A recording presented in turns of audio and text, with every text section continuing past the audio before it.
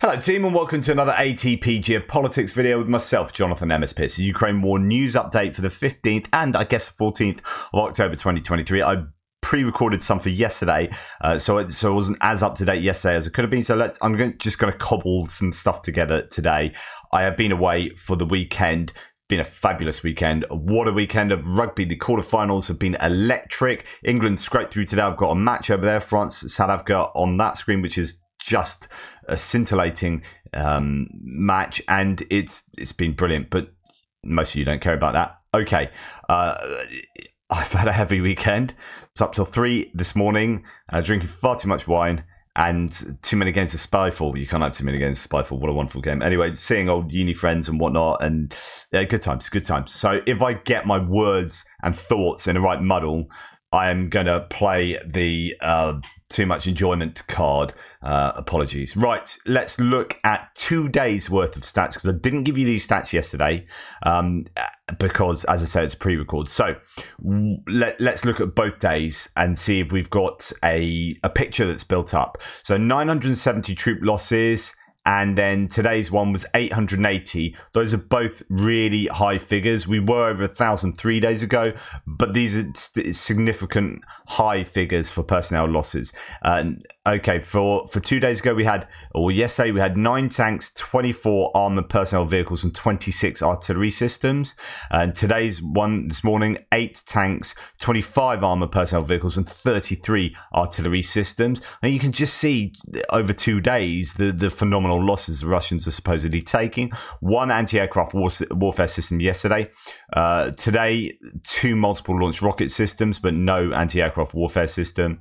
Um, and yesterday, there was one aircraft uh, that was lost. So that's going to be the, the airframe I reported yesterday, Su 25 was it um, i might have to look back at that um, one drone 22 vehicles and fuel tanks and four pieces of special equipment Today, we had four drones, 24 vehicles and fuel tanks, and five pieces of special equipment. So, uh, what I think what we can take away from that is a lot of losses that will be degrading the Russian ability to, um, I don't know, significantly defend or produce really big uh, offensive actions. I mean, they have been throwing armor uh, into say Avdiivka, for example, and haven't really got far. I think minor advances, just I would argue, just not worth the cost uh, to their forces.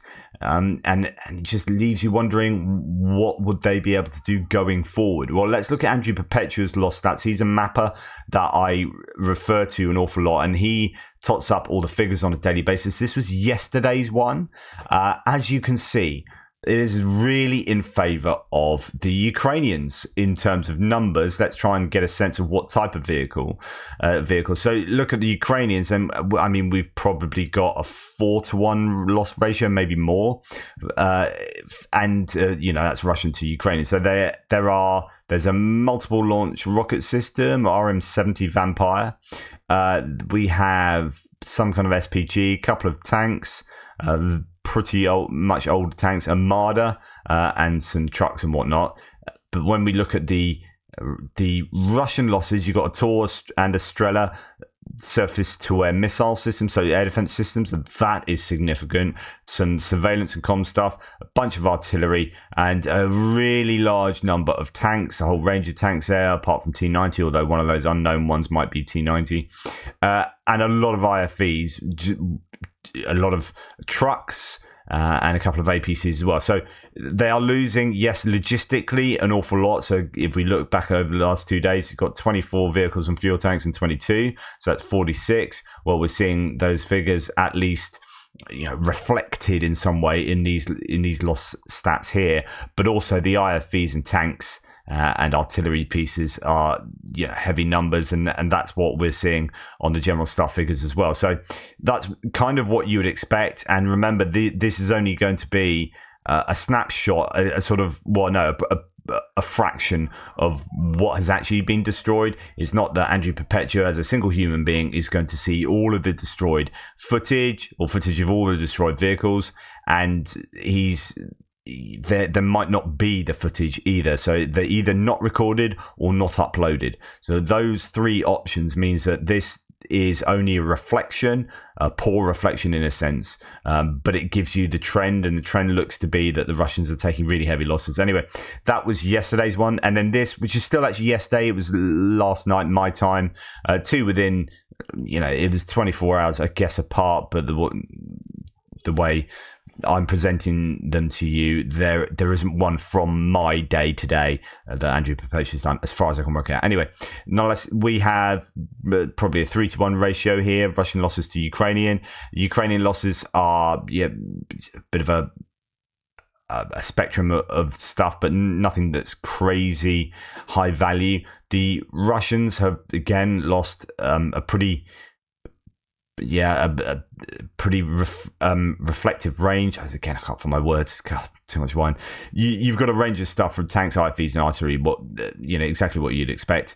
Uh, engineering vehicle and excavator. It just goes to show that they are still aiming at things that will help the Russians build their trenches. Um, but yeah, again, the losses are worse for the Russians there. Right, uh, we let's look at a few bits and pieces. So a few minutes ago, says Tim White, although this was uh, actually yesterday morning. He said a few minutes ago, I wrote about Russia's troops in Avdiivka being pressed into battle without cover. There's lots of stuff coming out about Avdiivka. I'm going to do maybe a separate little uh, Avdiivka analysis video next. Uh, which will be looking at a few sources I have about what's taken place in Avdiivka. So now news from Astra Media. Uh, over that over 40 were locked up so 40 russian troops were locked up in secret prison basements in occupied luhansk for refusing to fight without sufficient weapons or ammunition. Well, here we've got Dimitri from, from War Translated uh, giving you another video of people complaining. Um, relatives of the mobilized men from Tatarstan are puzzled as to why the battalion was placed on the zero line in the Svatove direction and not in the defense as promised, and is taking colossal casualties as a result. Regiment number 1234. Uh, so these are uh, yeah, relatives complaining that their own uh, the units of their own um, of their own troops are taking quote colossal casualties. And it goes back.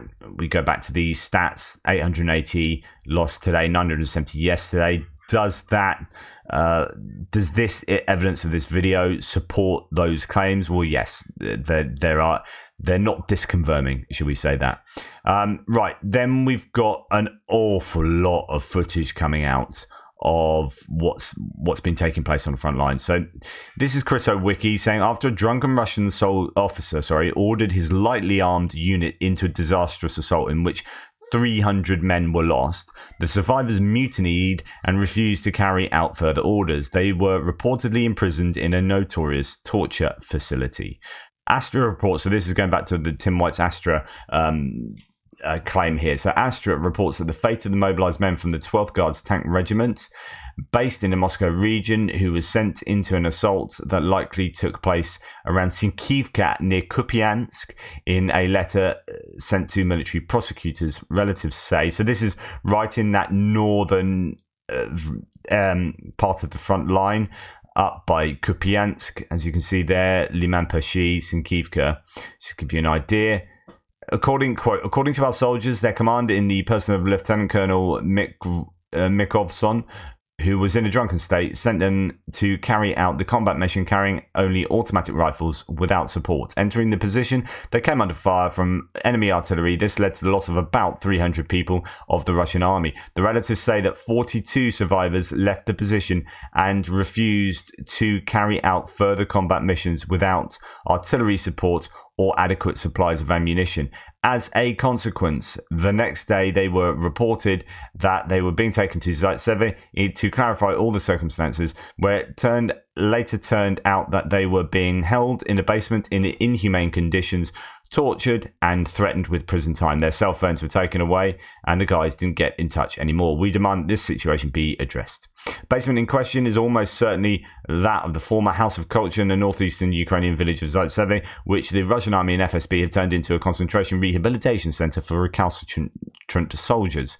Uh, the letter was written on 12th of October. Astra reports that according to relatives, the men were released on the 14th of October. It is not known what their current status is.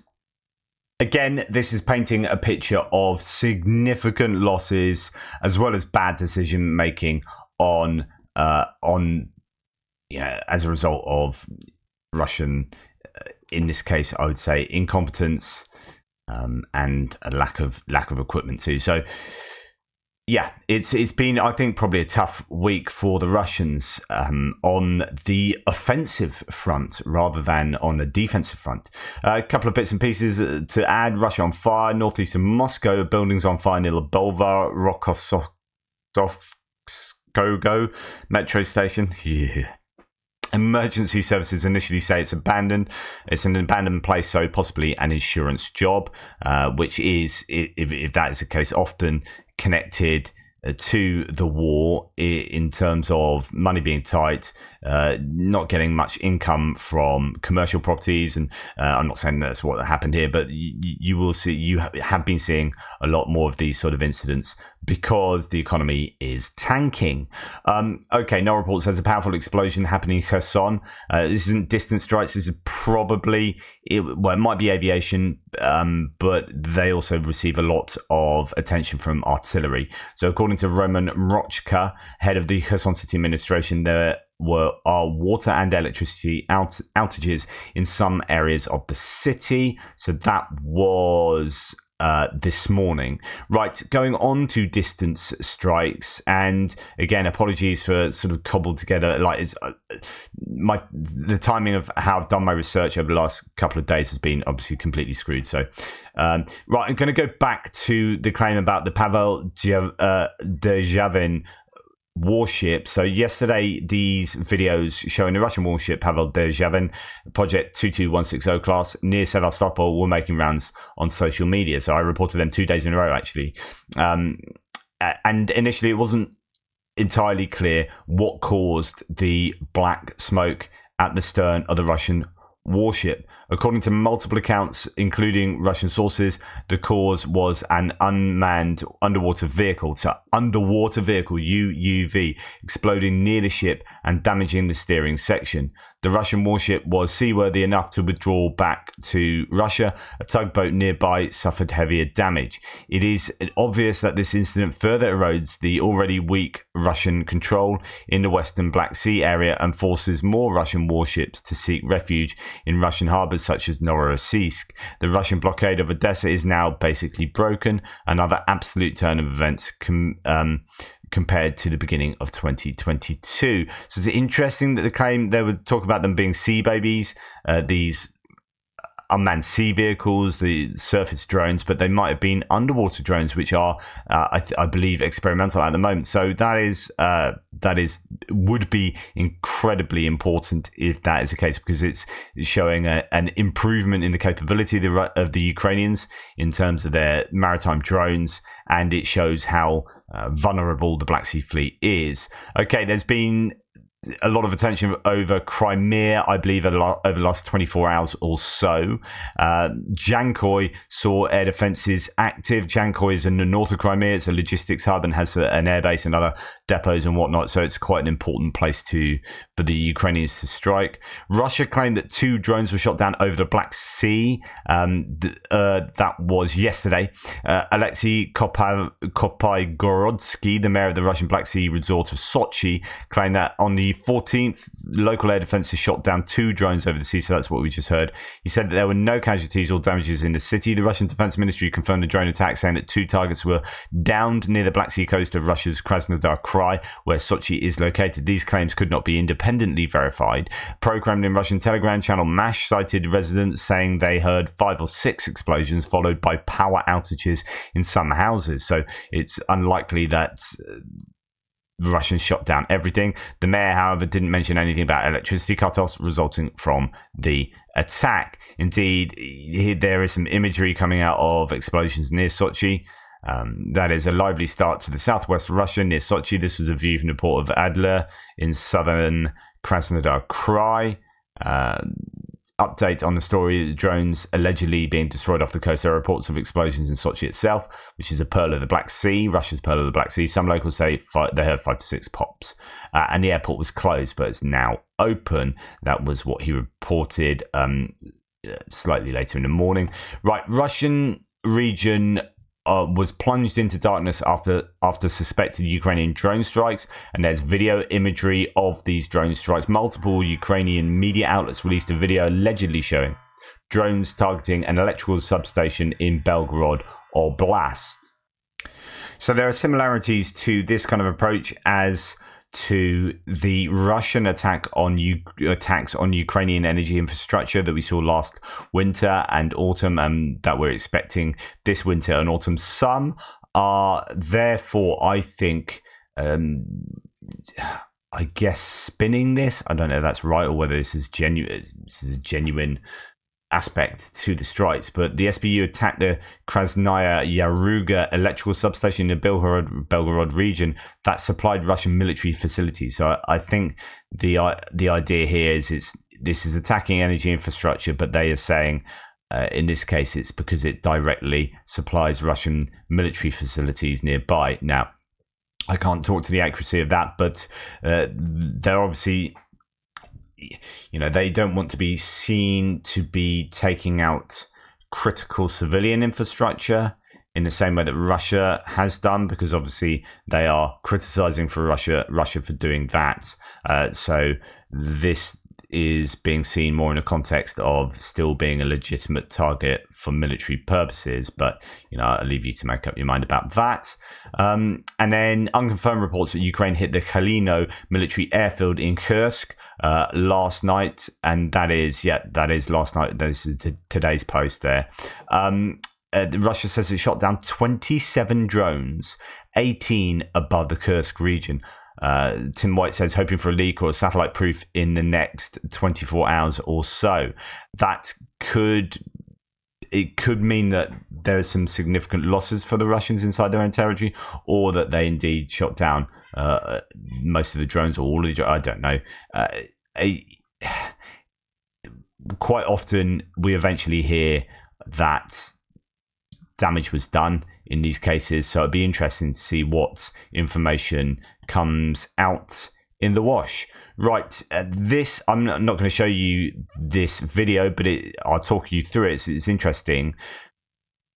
Remember, all of the links for this part of the segment for the hits and losses and strikes are in the description to the vi- to this video below as they are every day and you can click on them to find out you, you know to look at these videos uh, in uh, uh, as a whole or in their entirety. So, another great example, says Tendar here, with spectacular end uh, of the Russian ammunition storage. Why cluster ammunition has such an important value in warfare? It's hard to argue against its effectiveness, especially in theatres of war such as Ukraine. So, here you've got some ammo storage over here, and the the cluster munition fires and, and sort of sparkles all along here. And it's actually one of the sub munitions that blows up the, the whole ammunition dump. But the center of the cluster uh, strike was somewhere to the left of this image. The point, point of me talking about this is that cluster munitions can be uh, effective because they have a greater spread. Uh, and rather than requiring a single piece of ordnance to hit the target directly, or at least very close to it, you can fire a cluster munition and be somewhat less accurate and still get the desired outcome. And this is one of those examples where they they destroy the ammunition depot uh, with the edge really of, of the of the spray of the cluster munition. So that's uh, that was interesting to watch. I thought. Uh, right, going to other bits and pieces. Russian authorities confirmed the restoration of the Kerch Bridge, and that they were completed. Time for another attack? Asks NOELreports. Uh, this is a uh, well, it's a, it's I guess it's opening up for the the bridge to be struck again. They have done things like it appears that the Russians have sunk some ferries along here and have created some kind of artificial defense for the bridge against maritime drones, probably both underwater and on top of the water, surface drones. But um, they the Ukrainians we know have access to missiles that should be able to hit this uh, their own possibly their own kind of Neptune S two hundred or uh, Hrim. There, there, are a number of options, and of course cruise missiles. So uh, it could be that the Kerch Bridge is targeted again. Now it has been fixed. Right. Uh, Marina, I reported this yesterday. Marina Ovsyannikova, former news editor for Russian state TV, who collapsed yesterday amid reports she may have been poisoned, has dismissed the rumors. She posted this to her own Telegram channel. No toxic, toxic substances were found. She's now much better. So there were claims initially that uh, that she had been poisoned, uh, and I repeated those claims. Uh, it appears not to be true. I thought those claims originally came for her. So I don't know that she's dispelling the rumors or just correcting her initial worries. But anyway, either way, it doesn't appear to have been a poisoning.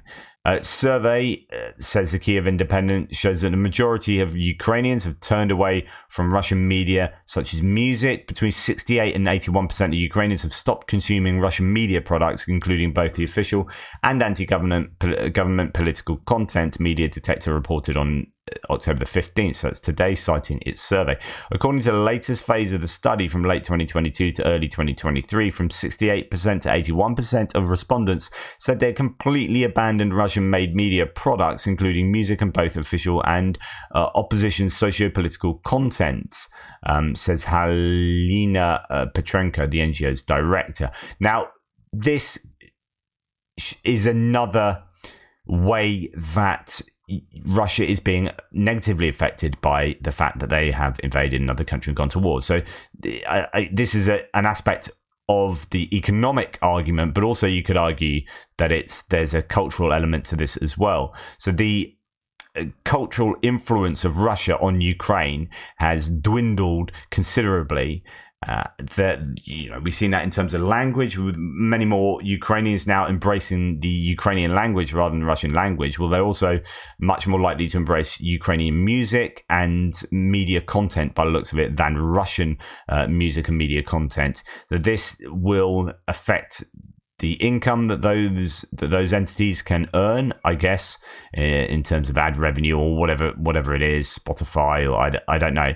So affect you know Russian entities in in terms of their income, but also affect the the cultural influence of Russia. So I thought that's worth noting. Right, uh, activists have said that 5,000 human rights abuses have been recorded in Crimea during the Russian occupation. Over 5,000 human rights violations have been recorded in Crimea since the start of the Russian occupation in 2014, mainly against the Crimean Tatar community. Ukraine Ukrinform reported on October the 15th. So this is actually going back nine years, uh, citing human rights activist Alim Aliyev. Aliyev uh, again, you know, these are people you want to be supporting, really. Uh, and then Putin was sort of interviewed, or, or there's a bit of a, a vox pop here from him um, that came out yesterday, I think, or was it? No, it might be in this morning. From Kiev by lunchtime to uh, active defense with improvement of positions in certain areas. So this is the idea that Putin a year and a half ago was like, yeah, we're gonna we're going to take Kiev in three days, etc., etc., etc. And then a year and a half later, it's like, no, we've moved to active defense with improvement of the positions in certain areas. It's like, yeah, things aren't going that well, are they, mate? Uh, Putin gives commentary on a frontline situation where the second army in the world is currently waging a major armored assault operation against a waste heap in Avdiivka. Uh, how the mighty have fallen, arguably. So, uh, yes, uh, we we will just have a look at, at, what he says here, and I'll read you through his uh, reactions, and you can make of that what you will. So the interviewer says, important question about the SMO, the war. What's happening on the front line? We now hear official statements from Kiev that the counteroffensive Bogdan is behind the schedule. Uh, recently, you said our forces advance in 12 directions. We're reading the news on Avdiivka. Should we expect the capture of Avdiivka? So this is actually quite uh, a, big question. I mean, obviously, it shows you that that they're willing to to take in the complete. Uh, well, all the Russian talking points is like, yeah, the we're hearing that the counteroffensive has, has stalled and um, the Russians are, are, pushing on and etc. etc. Um, but yeah, direct question about Avdiivka. And Putin says, regarding the counteroffensive that is allegedly bogged down, it has completely failed. We know that in some areas of the hostilities, still, the opposing side is preparing new active offensive operations. We see it, we know it, and we act accordingly. And what is happening along the whole front line is called active defense. Uh, this is what actually what I've been talking about, which is uh, off, you know, offense is the best form of defense. And as soon as they lose ground, they, they do counterattacks to try and retake it. Um, Putin says, and our army is improving its positions across most of this space. Uh, which is rather big. This involves Kupiansk direction, Zaporizhia direction, and Avdiivka direction. Uh, this is to say, generally, uh, place names can vary, and but yes, it's called active defense and the improvement of the positions in certain areas. Uh, we're not hiding it, and I'd like to thank the armed forces. Uh, but of course, he doesn't actually answer the question about Avdiivka. Um, as I say, I'll do a little update on Avdiivka next, I think. Anyway, take care. Thank you so much. I'm not going to do the geopolitics uh, and military aid segments that I'd normally do the, the two videos for news. I'm not going to do them because I'm going to compile it all in tomorrow's one and add what I find uh, from now until then to, to what I already have but hopefully this gives you a bit of a snapshot of some of the activity the, or the, the effects of the activity uh, over the past few days. And check out for as i said the avdiivka one and i'll, I'll probably do a frontline update uh, just a separate one to that. So keep your eyes peeled. Take care. Speak soon